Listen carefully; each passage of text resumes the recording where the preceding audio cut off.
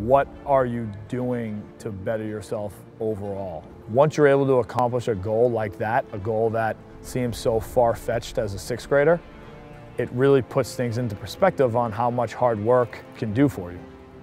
If you really want to be a pro, sometimes you got to make those sacrifices and continue to try to better yourself. It's the real world. There's winners and there's losers. There's strengths and there's weaknesses. And you're only as strong as your greatest weakness. It's all about continuing to use your genetic makeup and try to maximize it. At the end of the day, you got to look yourself in the mirror and say, can you be your best? That chip on my shoulder, that um, doubt that people tend to put on what I can accomplish athletically continues to make me want to prove them wrong.